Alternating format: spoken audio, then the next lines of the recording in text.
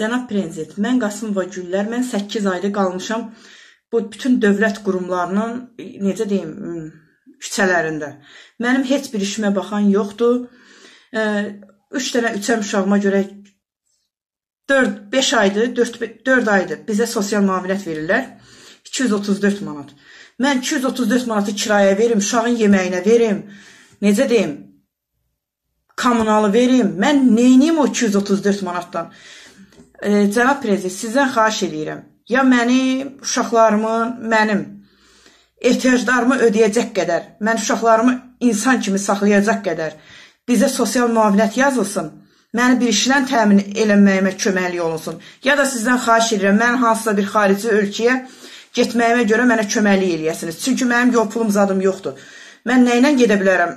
Yəni ki, ora getmək üçün də küllü miqdarda pul lazımdır. Xahiş edirəm, ya məni başqa ölkəyə göndərməyim barədə köməklik göstərəsiniz, ya da mənim problemlərimin həlli barədə mənə köməklik eləyəsiniz. 8 aydır, 9 aydır mən hayxırıram, mənim səsimə səs verən bir dənə məmur mən görməmişəm.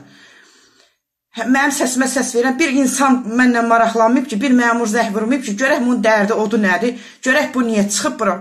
Çıxıb belə danışıram, deyirlər ki, bunu kimsə öyrədib, hansı partiyasa bunu öyrədib, çıxarıb, yalansa Allah başımıza daş salsın.